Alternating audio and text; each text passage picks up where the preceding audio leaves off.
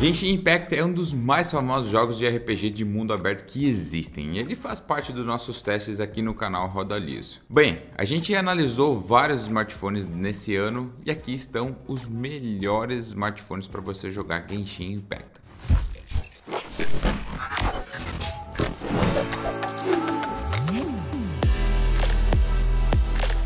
O melhor smartphone, já começamos com o primeiro aqui, é o Galaxy S23 na versão normal. Ele empatou em performance com os dois outros celulares, o segundo e o terceiro colocado. Mas como ele está com preço um pouquinho menor, vai ser o vencedor do ano.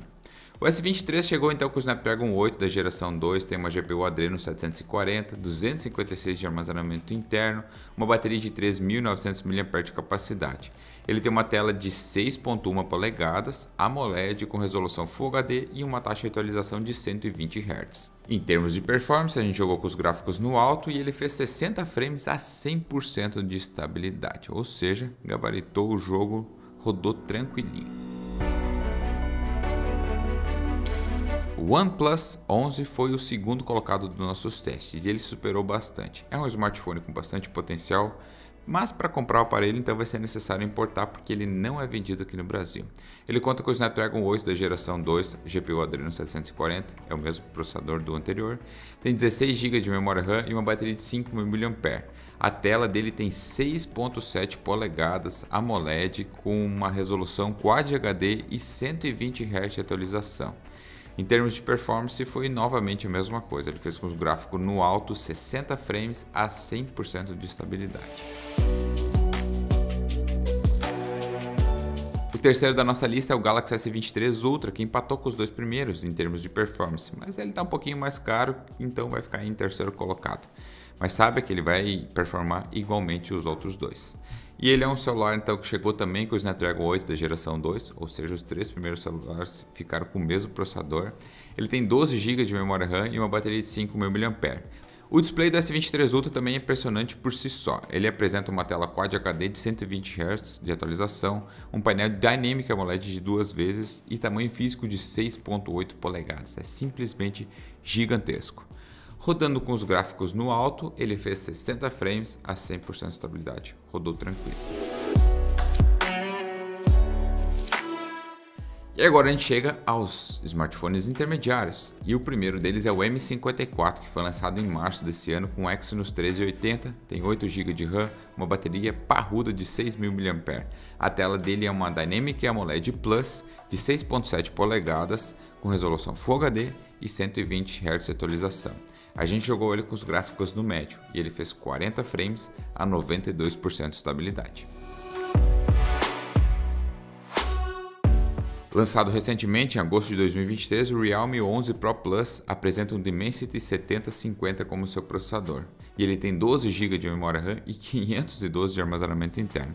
A Realme também traz um display muito legal no seu smartphone, é um AMOLED de 6.7 polegadas Full HD com 120 Hz, tudo isso numa bateria de 5.000 mAh para acompanhar aquela sua rotina.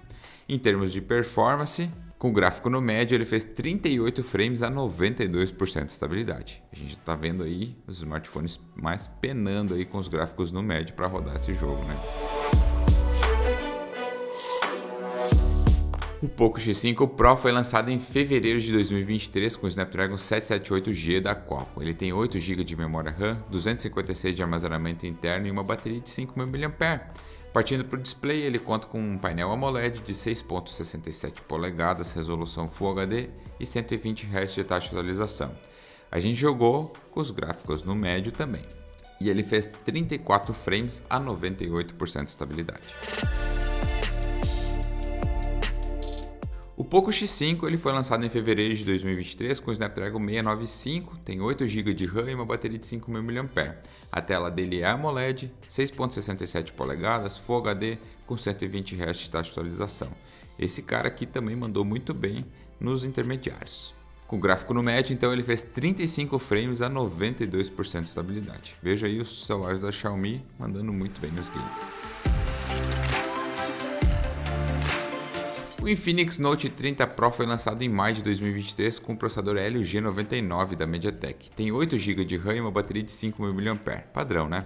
A sua tela consiste então em um display AMOLED de 6.78 polegadas, Full HD com 120 Hz de atualização.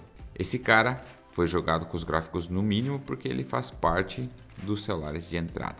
E ele fez 44 frames a 96% de estabilidade nessa condição.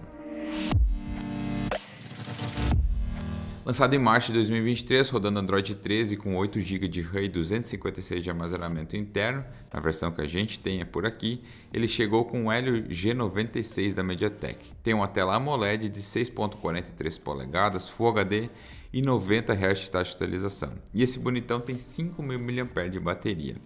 Jogando com os gráficos no baixo, ele fez 43 frames a 96% de estabilidade.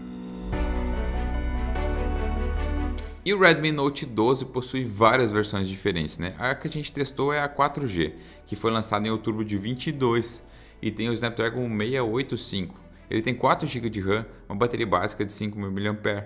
A tela dele é, a, é uma tela OLED de 6.67 polegadas Full HD com 120 Hz de atualização. Com os gráficos no baixo, ele fez 33 frames a 82% de estabilidade. Esse foi o último smartphone que completou a nossa lista aqui dos 10 melhores para jogar Genshin Impact. Então a gente teve aí três topo de linha, quatro intermediários e outros três de entrada para você escolher. Eu deixei um link de cada um aí para você ver o jogo, o teste de jogos dele completinho e também um link aí para você já comprar e ver as melhores ofertas desses smartphones, tá certo? Vou ficando por aqui então, grande abraço e até o próximo vídeo.